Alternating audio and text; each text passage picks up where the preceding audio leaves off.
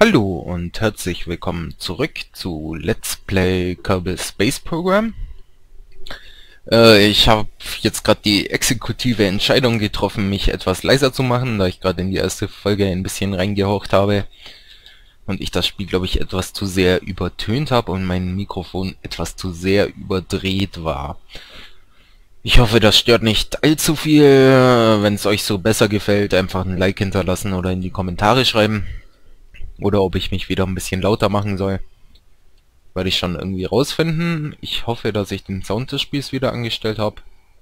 Werden wir schon sehen. Aber zurzeit ist es hier irgendwie ganz ruhig. ah, das ist natürlich eher suboptimal. Speichere ich es lieber mal. Äh, äh, LP1.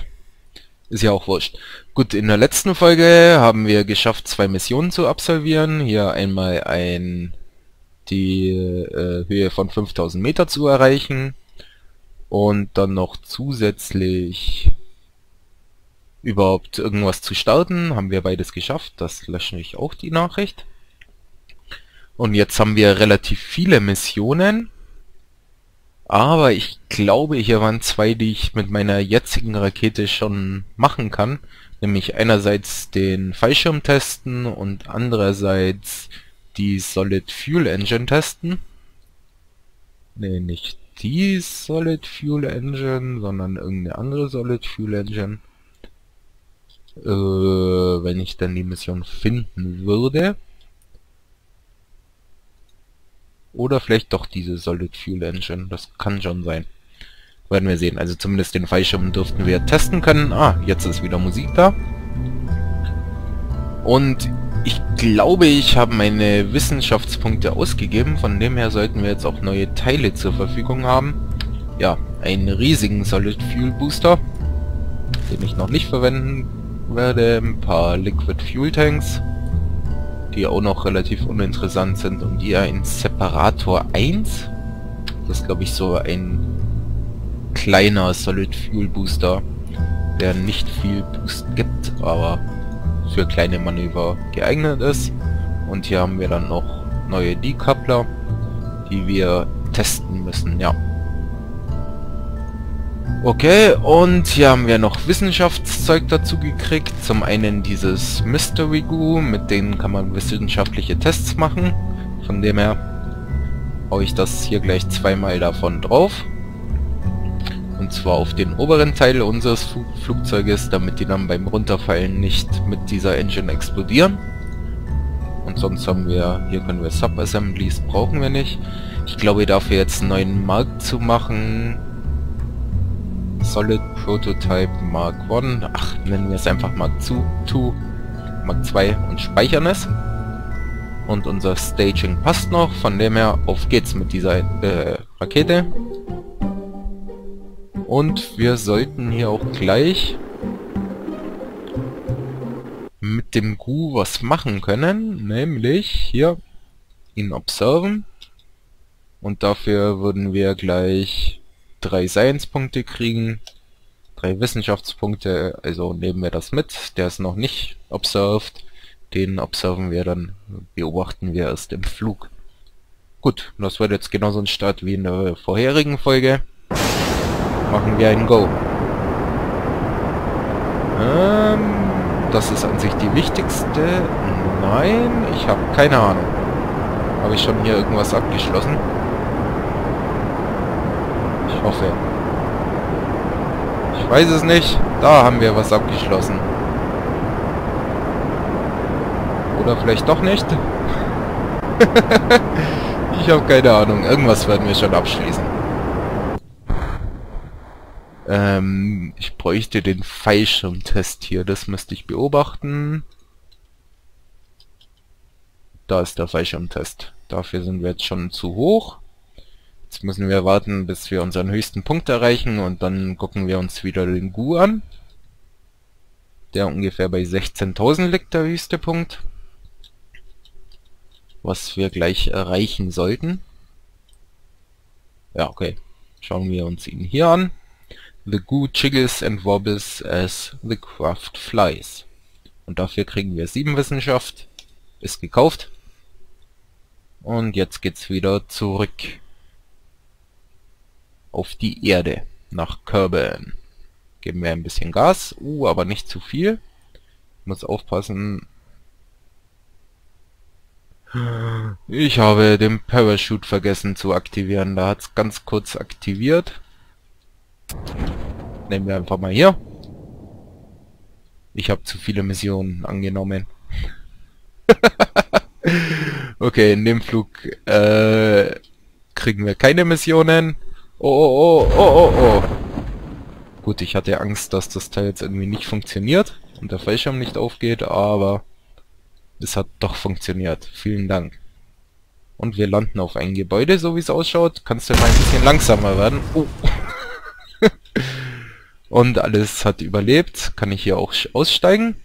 Ja, kann ich. Na, dafür sollte ich aber auch verlangsamen.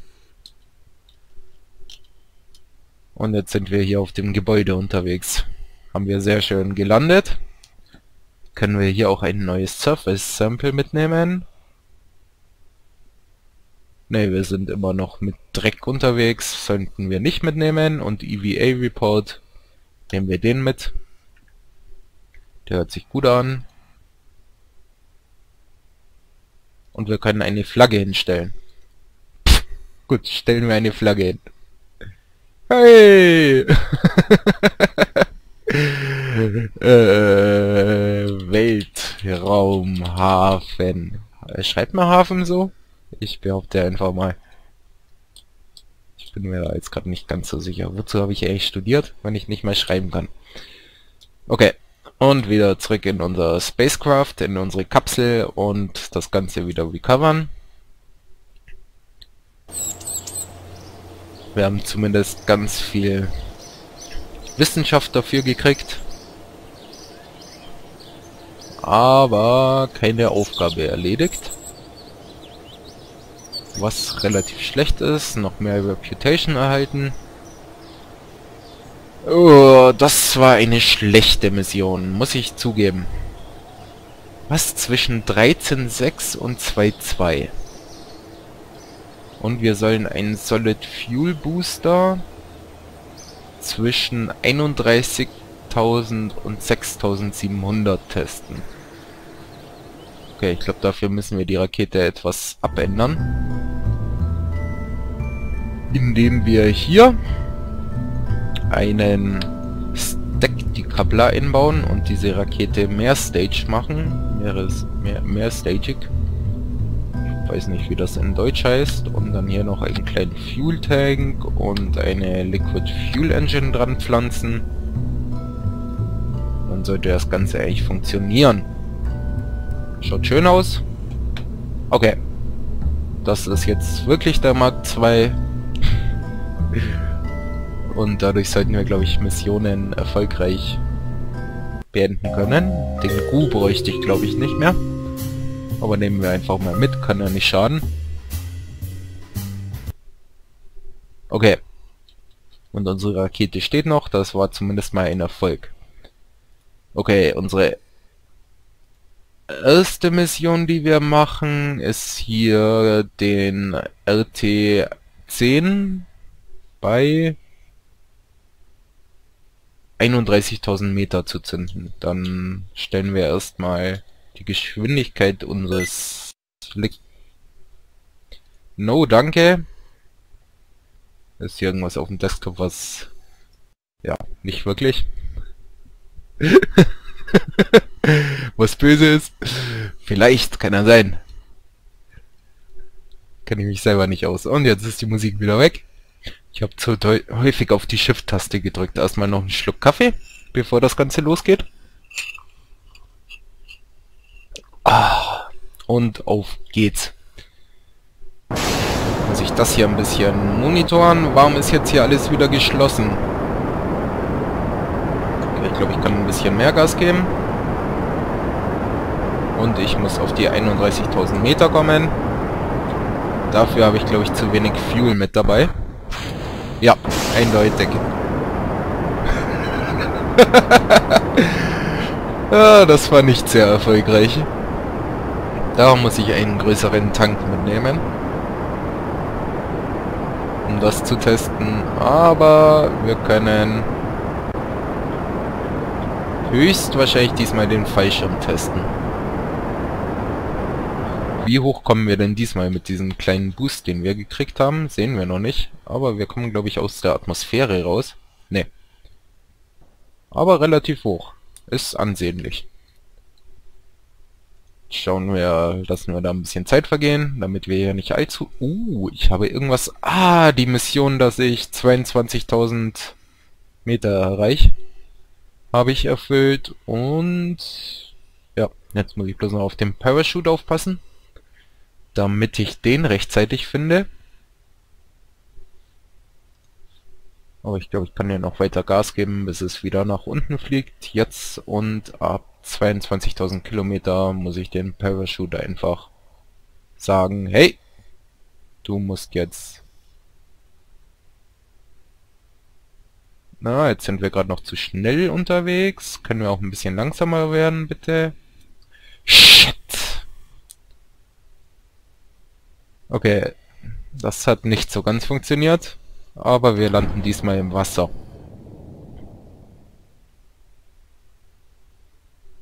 Wupp.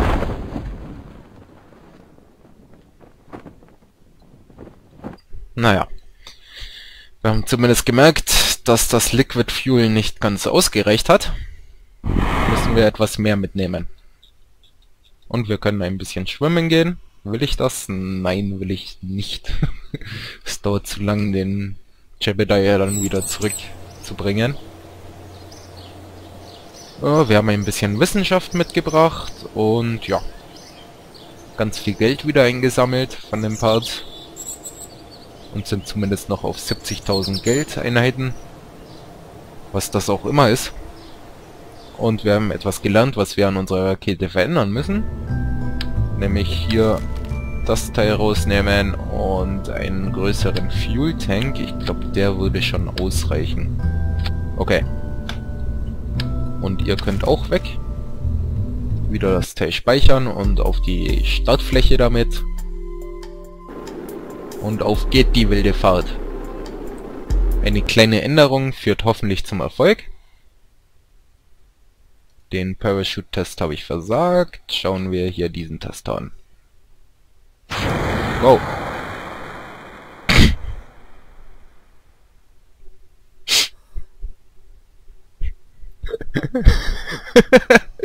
so was passiert, wenn man das Staging nicht hundertprozentig hingeht, äh, nicht überprüft, bevor man startet. Dann macht die Rakete sinnlose Sachen die keinen Sinn ergeben. Okay.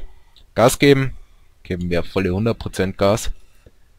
Und schauen uns wieder den wichtigen Test an. Den Solid Fuel. Wenn der denn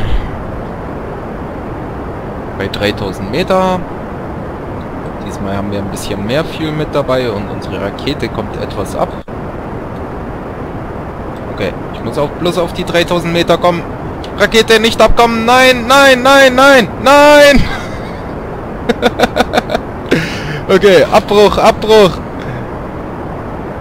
Rakete, lass uns in Ruhe. Okay? Und dich ziehen wir jetzt einfach nach vorne und aktivieren dich. Deploy Shoot. Yes, please. Das ist etwas daneben gegangen.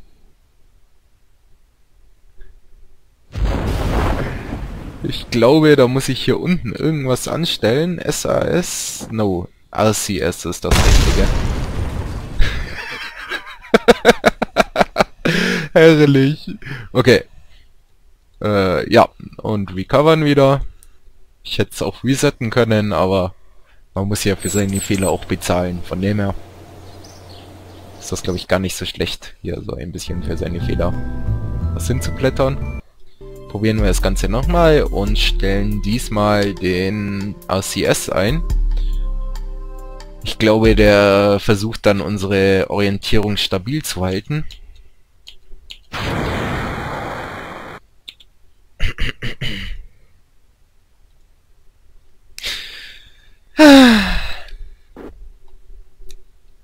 Wieder das Staging verkackt. Das sollte ich im Assembly Building neu machen. RCS ein oder SAS. Ich bin mir nicht sicher.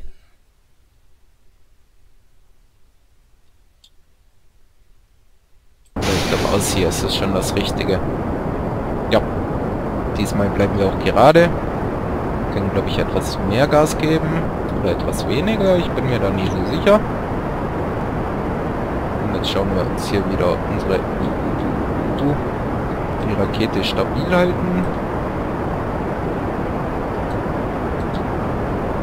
was ich nicht hinkriege. Dammit! Okay, LCS hat nichts geschafft. Nichts gebracht. Und weg mit dir, bitte. Und wieder den Fallschirm deployen. Komm her. Deploy Parachute. Und wieder Gas geben. Ah, ja, ich glaube, das passiert noch ein paar Mal, bis ich es hinkriege, dieses Teil stabil zu halten.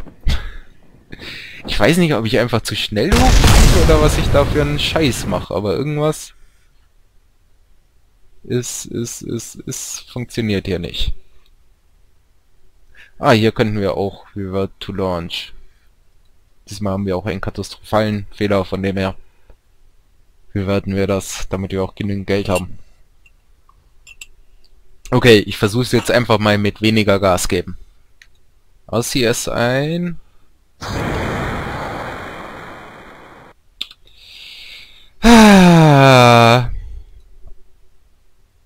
Let's fail at Kerbal Space Program.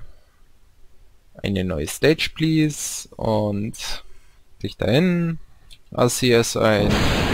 Und Gas geben. Diesmal schön langsamer. Ich glaube, das ist von der Geschwindigkeit ganz gut. Wir geben noch Gas, erst wenn wir kein Gas, jetzt dürfen wir etwas mehr Gas geben.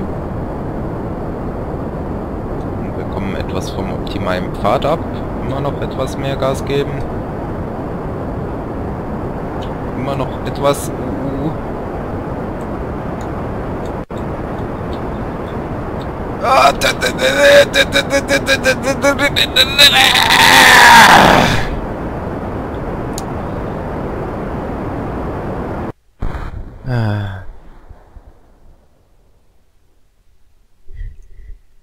Oh Gott, ich weiß nicht, was ich gerade falsch mache.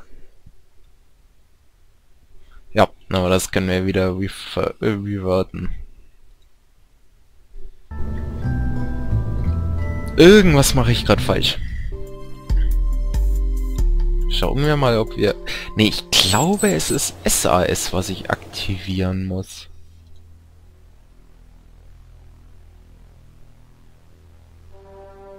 Bin mir nicht 100% sicher.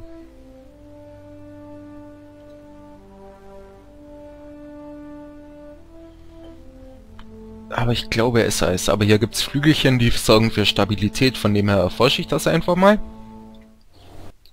Und ändere meine Rakete etwas ab mit Flügelchen diesmal.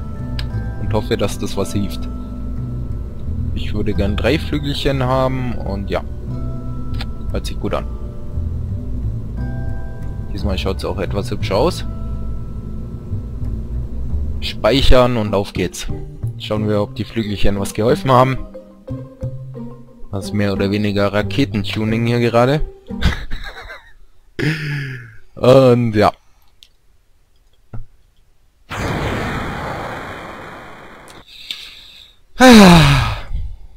Warum sagt mir niemand, dass ich das Staging immer noch nicht korrekt gesetzt habe? Das kann doch nicht so schwierig sein. Okay, diesmal. Aber... Oh Gott. Das ist eine Episode, die bloß aus Fails besteht. Und jetzt geben wir hier nochmal Gas. Ja. Bitte. RCS. Ich weiß nicht, ob RCS das Richtige ist oder ob wir SAS brauchen. Aber irgendwie schaut das gerade ein bisschen stabil aus, was ich mache. Das müssen müssen wir auf die 3000 Meter und auf die gewünschte Geschwindigkeit kommen. Aber das geht gar nicht so leicht, das Teil stabil zu halten.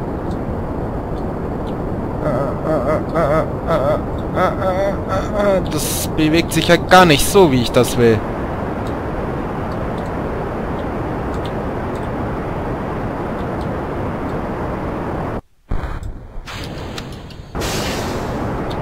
Ja, wir haben einen Test geschafft. Ja, auch mit mehr Glück als Verstand.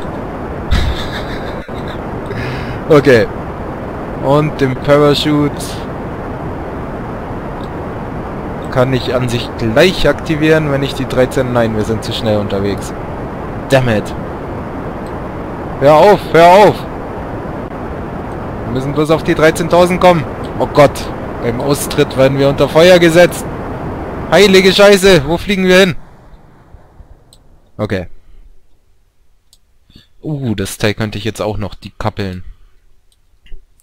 Aber wie man sieht, ist dieses Spiel nicht ganz so einfach. Schauen wir mal, ob wir auf den Rückweg die Bedingungen erfüllen, um... Hui! Stabilisier dich mal! SAS? Kann ich das auch irgendwie locken, dass ich nur SAS anhab? Aber anscheinend nicht. Ich weiß nicht, RCS oder SAS? Welcher von beiden es ist? Wow. Nee, das kann ich immer machen. SAS scheint mich irgendwie zu, zu stabilisieren. Und jetzt müssen wir auf die 22.000 Meter warten und hoffen, dass wir langsam bzw. schnell genug sind. Wir werden zu schnell dafür sein. Es ist gar nicht so einfach hier. Uh, uh, uh, uh, uh. 22.000. Jetzt haben wir die 22.000. Kriegen wir noch einen geringeren Speed zusammen? Ne, kriegen wir nicht. Ah, da kann man Geld dabei rauswerfen, wenn man so einen Scheiß baut. Aber zumindest haben wir es diesmal geschafft, zwei Missionen zu erfüllen kann ich hier erstmal den Parachute deployen und wieder etwas Gas geben. Und ja. Was schaut einigermaßen erfolgreich aus. Ich hätte zwar am liebsten mehr Erfolg gehabt, aber man kann ja nicht alles haben. Okay, und unser Booster hat überlebt. Diesmal schaut alles hübsch aus sind wir doch fröhlich damit und recovern die Vessel. Unsere Rakete wieder zurück. Und was haben wir dafür gekriegt? Wir haben, glaube ich, Geld verloren. 6000 oder so. Aber, ja. Wir haben neuen Wissenschaft dazu gekriegt. Vielleicht, ich weiß es nicht. Aber zwei Aufträge erfüllt. Gut. Das war's für heute. Wenn es euch gefallen hat, ein Like hinterlassen und wenn ihr immer up to date bleiben wollt, abonnieren. Und wenn es äh, euch nicht gefallen hat, disliken, Kommentar schreiben oder auch so Kommentar schreiben, wenn es euch gefallen hat und ihr irgendwelche Verbesserungsvorschläge habt. Sagen, wie euch der Sound gefallen hat und ich hoffe, man sieht sich das nächste Mal wieder. Tschüss!